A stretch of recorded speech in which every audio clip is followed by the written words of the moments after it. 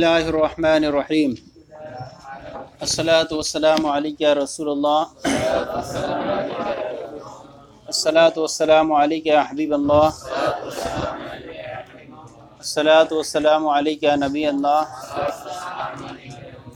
وعلی علی کا واصحاب کا نور اللہ اس سے پہلے ہم نے علم علم معانی کے تین ابواب، الباب الاول فی الخبر والانشاء دوسرا باب ذکر و حذف اور تیسرا باب تقدیم و تاخیر کے بارے میں پڑھ لیا۔ اب یہاں سے جو ہے باب شروع کر رہے ہیں۔ الباب الرابع۔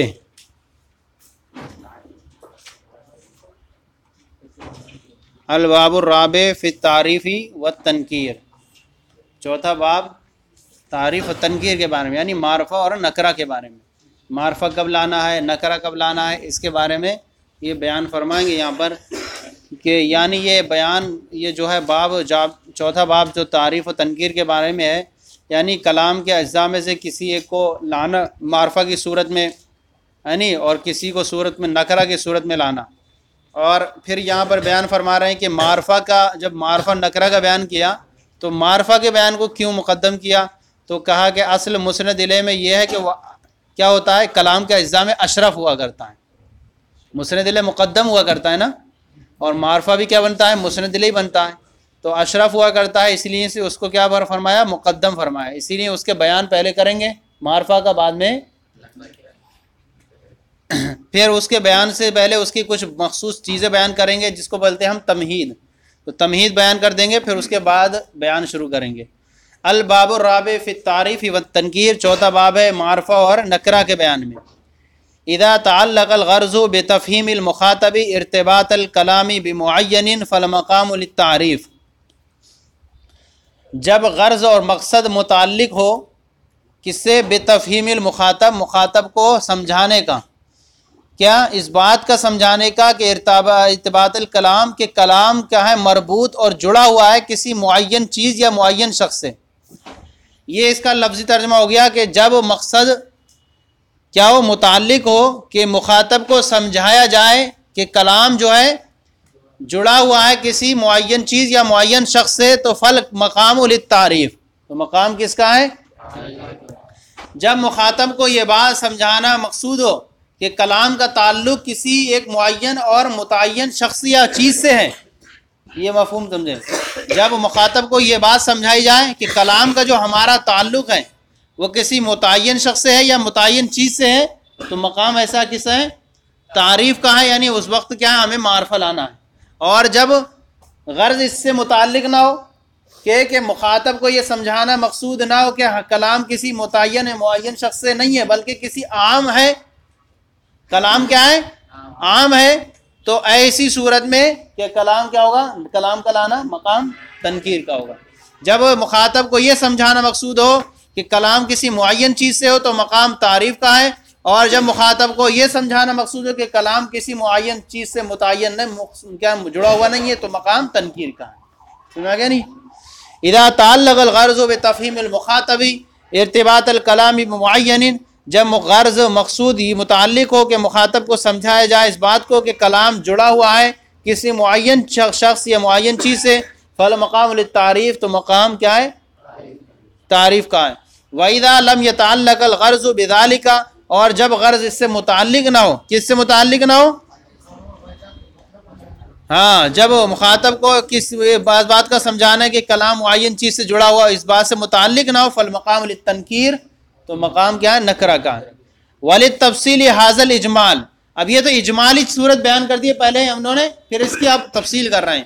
اور اس اس اجمال کی تفصیل میں ہم کہتے ہیں من المعلوم ان المعارف الضمیر والعلم و اسم الاشارہ و اسم الموصولی والمحلہ بال والمضاف لواحد مما ذکر والمنادہ۔ آپ نے پڑھ چکے ہیں پہلے کہ معرفہ کی کتنی قسمیں ہیں؟ سات قسمیں۔ جو یہ بات معلوم ہے کہ معرفہ میں سے ضمیر ہے، علم ہے، اس میں اشارہ ہے اور اس میں موصول ہے۔ والمحلہ بعلی فلام اور معرب باللام۔ محلہ باللام بلی فلام مطلب معرب باللام۔ والمضاف لواحد مما ذکرہ اور مضاف ہونا ان میں سے کسی ایک کی طرف۔ لواحد مما ذکرہ یعنی یہ پانچ جو چیزیں ذکر کی گئی ان میں سے کسی ایک کی طرف مضاف ہو۔ تو کون ہو؟ ضمیر کی طرف مضاف ہو، جیسے غلام حاضہ غلام غلام زید علم ہو گیا۔ اس غلام، اس میں اشارہ۔ ضمیر کی طرف غلام ہوا اور علم کی طرف غلام و زید، اس میں اشارہ غلام و حاضہ اس میں موصول کی طرف غلام الزی ہے نہیں؟ اور مورب بلام کی طرف غلام الرجل، تو یہ پانچ کی طرف مضاف ہو۔ پانچ میں سے کسی ایک کی طرف مضاف ہو، تو یہ بھی کیا بن جائے گا؟ معرفہ بن جائے گا۔ جب مار کسی کی اضافت کی جائے معرفہ کی طرف، تو وہ بھی معرفہ بن جاتا ہے۔ اور اگر اضافت کی جائے نکرا کی طرف، تو معرفہ نہیں بنتا، بلکہ کیا ہو جاتا ہے؟ نکرا مخصوصا بن جاتا ہے۔ ول منادا اور ساتویں قسم کون ہے؟ منادا تو پہلے اجمال بیان کیا۔ پھر ان کی اب قسم بیان کی اب ہر ایک کی کیا کریں گے؟ تفصیل بیان کریں گے۔ وہ ضمیر رہا انہوں نے چونکہ سب سے پہلے کیا کرا؟ سب سے تفصیل کر دی۔ اب یہاں پر تفصیل بیان کر رہے ہیں۔ اور یہاں پر انہوں نے سب سب سے پہلے ضمیر کے بیان کو ذکر کیا، کیونکہ ضمیر جو ہے تمام میں عارف المعارف ہے۔ سب سے زیادہ پہچان کس کے ذریعے ہوتی ہے؟ ضمیر کے ذریعے ہوتی ہے۔ ہے نہیں سب سے زیادہ پہچان والی اور یہ معرف میں سب سے زیادہ پہچان والی اس نے ضمیر کے بیان کو ذکر کیا۔ ان ساتھ میں وامہ ضمیر فیوتا بھی لے کون المقامی تکلم اول خطاب اول غیبت مال اختصار رہا ضمیر تو اسے لایا جاتا ہے لکون اس لیے تاکہ مقام مقام کے متکلم، مقام کے تکلم یا خطاب یا غیبوبت کا ہونے کی وجہ سے۔ یعنی کس لیے لایا جاتا ضمیر کو؟ تاکہ اس لیے کیونکہ مقام کس چیز کا ہے؟ تکلم کا ہے یا خطاب کا ہے یا غیبوبت کا یعنی غائب کا ہے۔ مال اختصار ساتھ ہی ساتھ ضمیر میں کیا ہوتا ہے؟ ہم نے جیسے کہا، زارا بتو، یہ مقام کس کا ہے؟ تکلم متکلم کا، تکلم کا ہے۔ ضربتا انتا، یہ کتاب خطاب کا ہے، مقام خطاب کا ہے۔ اور ذرابا یا ہوا، یہ کتاب مقام کس کا ہے؟ غائب غائب کا ہے۔ اور ساتھ ہی ساتھ اس میں کیا ہے اختصار بھی ہے؟ جیسے کسی نے کہا ذرابا عبد الرحمن بن التمش۔ اتنا لمبا نام ہے کسی کا۔ یہ کتنا لمبا طویل ہے۔ لیکن کیا کہہ دیا؟ ذرابا ہوا۔ اس نے مارا۔ تو یہ اختصار ہو گیا نا؟ ضمیر میں کیا ہوتا ہے؟ اختصار ہو گیا۔ تو ضمیر کو اس لیے لایا جاتا ہے کیونکہ جب ہم نے کہا اختصار کے ساتھ، جیسے کہا، امیر المؤمنین یا امرو بے قزا یعنی یہ ایک کیا ہے؟ جیسے ہم نے کہا کہ یہ اس اس طرح کالا کہہ دیا ہم نے، صرف ہم نے کالا اس نے کہا، لیکن ہم نے کہا امیر المؤمنین یا امرو امیر المومن حکم دیتے ہیں کالا یا مرو کالا ظالی، اس نے کہا ہے نہیں اور ہم نے صرف نام لے دیں پورا لمبا، تو کیا ہو جائے؟ گا اس میں طوالت ہو جائے گی، تو ضمیر میں کیا ہوتا ہے؟ ساتھ ہی ساتھ اختصار بھی ہوتا ہے اور یہ کلام کے اعتبار سے بدلتی رہتی ہے۔ اصل علم جو ہوتا ہے نا، وہ زیادہ تر غائب کے درجے میں ہوتا ہے۔ کیا ہوتا ہے؟ علم غائب کے درجے میں ہوتا ہے۔ جیسے ہم کہیں گے کالا زید۔ غائب کے درجے میں نا، زید نے کہا۔ اور ضمیر کیا ہوتی ہے؟ یہ بدلتی رہتی ہے۔ غائب میں بھی چلی جاتی ہے، حاضر میں بھی آ جاتی ہے اور تکلم میں بھی آ جاتی ہے۔ یعنی لیکن عالم کیا ہوتا ہے؟ راہ ضمیر تو اس لیے لایا جاتا ہے کہ مقام کے تکلم یا خطاب یا غیبت کا ہونے کی وجہ سے مال اختصار اختصار کے ساتھ۔ جیسے انا رجو تو کا فی حاضل امری میں نے تم سے اس معاملے میں امید کی، میں نے تم سے اس معاملے میں وانتا واد تنی بنجازی، اور آپ نے اس کے پورا کرنے کا وعدہ کیا۔ آپ نے وعدہ کیا تھا بن جازی دیکھیں یہاں پر ضمیر متکلم لائی گئی نا، انا۔ مقام تکلم کا سادی ساتھ اختصار ہے اس میں اور یہاں دونوں کو جمع کر دیا ہے انا کو رجو تو کا، کاف ضمیر کو بھی جمع کر دیا ہے۔ تو گویا کہ متکلم اور خطاب دونوں جمع ہو گئے جملے کے اندر۔ اور اس میں اختصار بھی ہے کیونکہ اور یہاں دونوں میں کوئی فرق نہیں ہے، چاہے ضمیر منفصل لائیں چاہے ضمیر متصل لائیں دونوں میں اختصار ہوا کرتا ہے، سمجھے نہیں؟ اسی وجہ سے اسی وجہ سے کیا ہے، خطاب میں جو ہے ضمیر متصل منفصل میں کوئی فرق نہیں۔ تو یہاں پر جو ہے اختصار ہے، مان لیجیے انا ہم نے کہا ہے۔ انا کی بدلے میں ہوں، اب میں اپنا نام لوں، کوئی لمبے نام کا آدمی ہو، کیا کسی کا نام ہو، یا کسی کا نام بھی ہو، کم سے کم چار حرف سے کم نہیں ہوتا، زیادہ تر انسان کا آدمی کا نام۔ ہے نہیں؟ اور کسی کا کہہ دیا زیادہ بھی لمبا ہو جاتا ہے نام۔ اب نام لیں گے تو کتنا ہو جائے گا؟ کلام میں لمبا ہو جائے گا۔ ہے نہیں؟ انا۔ یہ انا لائے، اس سے مقابلے میں نام جو ہوگا لمبا ہی ہوگا نام میں کیا ہوگا؟ طوالت ہو جائے گی۔ تو ضمیر کس لیے لائی جاتی ہے؟ تو مقام تو تو ایک خطاب کا، تکلم، غیبوت کا ہوتا ہے۔ جبکہ نام میں یہ چیزیں نہیں ہوا کرتی، ہے نہیں؟ تو نام میں یہ چیز بھی نہیں ہوا کرتی ساتھ ہی ساتھ اختصار بھی نہیں ہوتا۔ تو ضمیر دو چیزوں کے لیے آتی ہے۔ ایک تو خطاب چینج ہوتا رہتا ہے اور ضائع مقام اختصار کا ہوتا ہے۔ انا رجو تو فی حاضل عمری میں نے اس معاملے میں اس سے امید کی، وانتا وعد تنی بنجازی اور آپ نے اس کے وعدہ پورا کرنے کا کیا کیا تھا؟ آپ سے آپ نے وعدہ کیا تھا مجھ سے اس کے پورا کرنے کا۔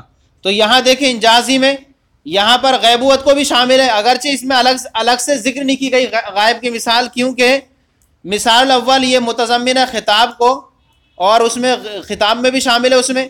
اور یہاں پر انجازی میں ضمیر دیکھ لیں۔ ضمیر غائب کی بھی آ گئی ہے ہے نہیں؟ تو اس طرح سے دونوں کو شامل ہو جائے گی اب یہاں پر یہ ہو گیا اصل مقام میں کیا ہے؟ ضمیر کو کس لیے لایا جاتا ہے؟ کہ ضمیر کو اس لیے لایا جاتا ہے کہ مقام یا تو خطاب کا ہوگا یا غائب کا ہوگا یا تکلم کا، جیسے الحمد للہ رب العالمین، یہ کون سا مقام ہے؟ حمد غائب کا ہے نا؟ الحمد للہ رب العالمین، الرحمن الرحیم، مالک ایا کا نابود اب کون سا آ گیا؟ خطاب کا آ گیا، ہے نہیں؟ ایا کا نابود دن سراۃ المستقیم سراۃ اللہ پھر غائب کا آ گیا۔ تو یہ جو ہے چینج ہوتا رہتا ہے۔ یہ خطاب التفات ہوتا ہے۔ یہ بلاغت کی اصطلاحات میں کیا ہے؟ التفات۔ کہ ہم کلام کو پیش کر رہے ہیں ایک جانب سے ابھی ہم چل رہے تھے غائب میں، پھر اچانک مخاطب میں چلے گئے، پھر تکلم میں پہنچ گئے۔ جیسے قرآن پاک میں و اللہ الدی ارسل الرحا بطسر و صحابن فسق نہ ہو اور وہ وہ اللہ جو کیا ہے، ہواؤں کو لے آتا فسق نہ ہو تو ہم اس کو ہانکتے ہیں۔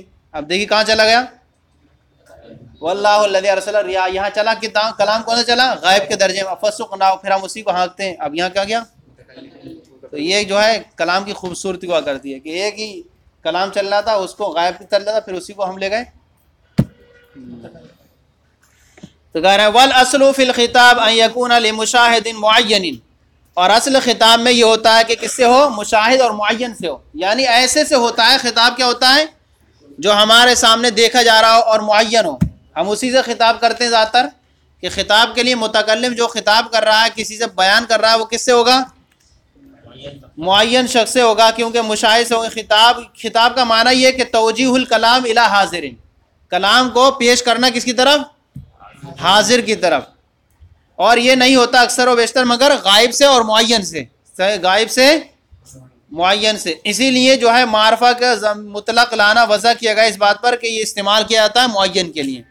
تو اصل خطاب میں یہ ہے کہ یہ مشاہد یا دیکھے جانے والے سے ہو اور معین سے ہو۔ وقت یو خاطب غیر المشاہد۔ کبھی کبھی اس کا خطاب کسی کس سے کر دیا جاتا ہے؟ غیر مشاہد سے اداکان مستحدر فی القلبی جبکہ وہ دل میں کیا ہو؟ ایا کا نعبدو ہم تیری ہی عبادت کرتے ہیں۔ اب یہاں کس سے ہونا چاہیے اصل خطاب؟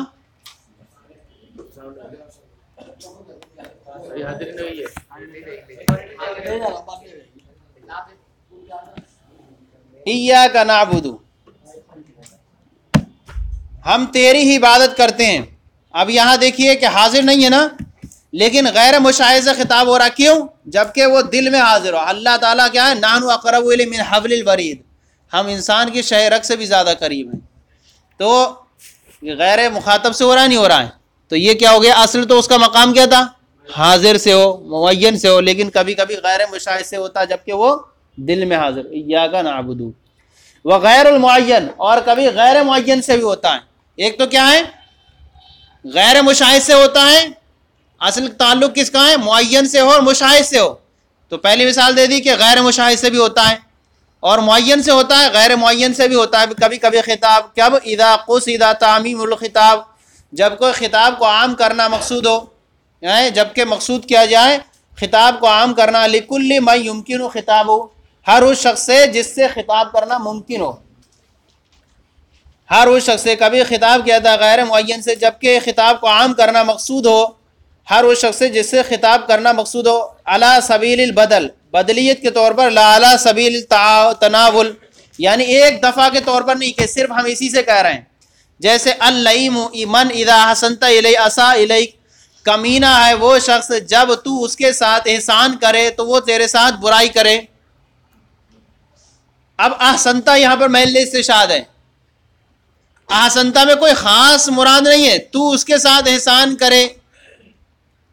تو وہ تیرے ساتھ، بلکہ یہاں عام کر دیا۔ جس جس کے ساتھ بھی تو احسان کرے، اگر وہ کیا ہے، برائی کر رہا ہے تو وہ کیا ہے؟ تو یہاں کیا ہے؟ خطاب کو عام کر دیا گیا۔ ہر اس شخص سے جس سے خطاب کرنا ممکن ہو۔ تو یہاں پر آپ خطاب سے کوئی معین آدمی مراد نہیں لے رہے۔ کیا ہے؟ معین آدمی مراد نہیں لے رہا اس سے کہ اسی کے آپ کا وہ معاملہ اسی سے ہو رہا دوسرے سے نہیں بلکہ آپ نے کہا جب جب اس کے ساتھ احسان کیا جائے تو وہ ایسا کرتا ہے کوئی بھی ہے تو جو بھی ایسا کرے جو بھی زمرے میں شامل ہوتا جائے گا وہ کیا منتا جائے گا؟ ہاں تو کمینہ ہے وہ شخص جب تو اس کے ساتھ احسان کرے تو وہ تیرے ساتھ برائی کرے۔ حسنتا حسنتا ہے۔ ہاں تو یہاں تو اب یہ یہ کوئی ایک آدمی سے مراد نہیں ہے۔ اب یہ ہے کہ یہ ہم یہ ہم ہی کر رہے ہیں تو، بلکہ کوئی بھی اب یہ ہر ایک کے لیے ہو گیا۔ کیونکہ قرآن میں بہت سارے حکم ہیں جیسے نازل ہوئے ایک ہی ذات کے، لیکن کیا اس کا حکم عام رہا نا؟ تو ایسے یہ تو احسان کرے۔ اب یہ نہیں کہ یار تو احسان کرے گا اور وہ کرے گا تو وہ کمی نہ بنے گا، بلکہ یہ کوئی بھی آدمی ہے جو احسان کرے اور وہ برائی کرے۔ وہ حسن تھا۔ ہاں۔ تو یہاں پر احسان جب فائدہ عدول کا عبارت میں خطاب کو مبالغے کے لیے مشہور کرنا ہے، گویا کے کان نہ حضرتا کل، گویا کہ آپ نے حاضر کر لیا ہر ایسے شخص کو جس سے خطاب کرنا ممکن ہو۔ خطاب تو آپ ایک ہی سے کر رہے ہیں نا، لیکن آپ نے حاضر کر لیا، گویا کہ آپ نے حاضر کر لیا ہر ایسی شخص سے خطاب کرنا ممکن ہو۔ تو آپ نے خطاب کے اس صورت میں اور آپ نے اس کے برے معاملے کو مصور کر لیا اپنے ذہن میں۔ اپنے معاملے میں کہ اب جو بھی آپ کے ساتھ آپ احسان کریں برا معاملہ کرے تو؟ ہاں تو حسنتا یہ کیا ہے؟ حسنتا میں یہ ضمیر جو ہے، یہ کس کے لیے ہے؟ یہ معین کے لیے نہیں ہے کہ آپ ہی احسان کریں۔ بلکہ جو بھی اس طرح سے ہر ایسے آدمی سے آپ کے احسان کریں گے، جو بھی آدمی احسان کرے گا اور وہ اس طرح کرتا رہے گا، تو یہ زمرے میں شامل ہوتا چلا جائے گا۔ چلیں۔ ہاں؟